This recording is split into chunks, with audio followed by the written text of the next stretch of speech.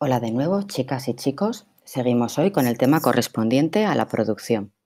En la pasada sesión hablamos sobre las limitaciones del Producto Interior Bruto y también os hablé a modo informativo del Índice de Desarrollo Humano elaborado por el Programa de Naciones Unidas para el Desarrollo.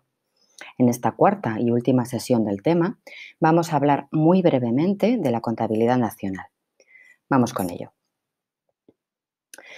Bueno, ¿qué es la contabilidad nacional? La contabilidad nacional, como aquí os indico, es todo el conjunto de indicadores que se utilizan para registrar e informar sobre las distintas actividades económicas que se realizan dentro del país durante un periodo de tiempo determinado. Normalmente la contabilidad se va registrando, eh, se registra todo diariamente, pero luego se arrojan datos a niveles anuales. ¿Vale? Entonces, con la contabilidad nacional se utilizan un montón de indicadores, se utilizan muchos indicadores económicos, como es nacional, se utilizan indicadores fundamentalmente macroeconómicos que se registran todas las actividades que se realizan dentro del país, actividades económicas.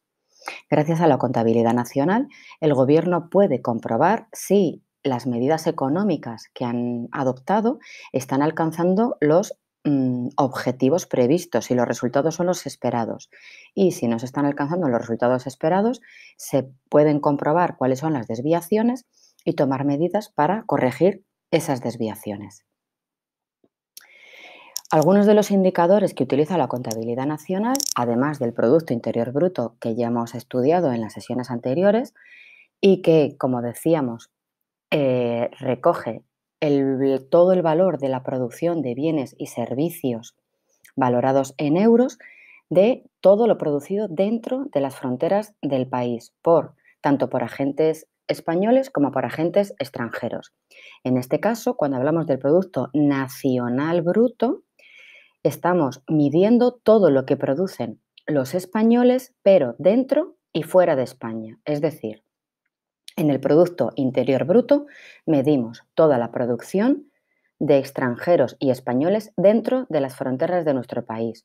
Cuando hablamos del Producto Nacional, Bruto, estamos hablando de la producción de todos los nacionalizados españoles, pero dentro y fuera de las fronteras de nuestro país.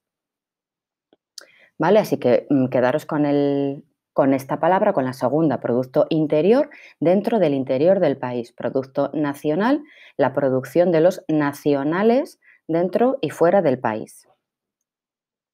Luego también se utiliza la renta nacional, que como aquí os dice, mide lo que ganan todos los españoles, tanto los trabajadores por cuenta ajena como los empresarios, ¿vale? Y esto normalmente es un dato bruto, a, a nivel bruto, ¿vale? Completo, sin deducciones y sin impuestos. Y por último, vamos a mencionar la renta personal disponible, que es la renta que realmente llega a las familias.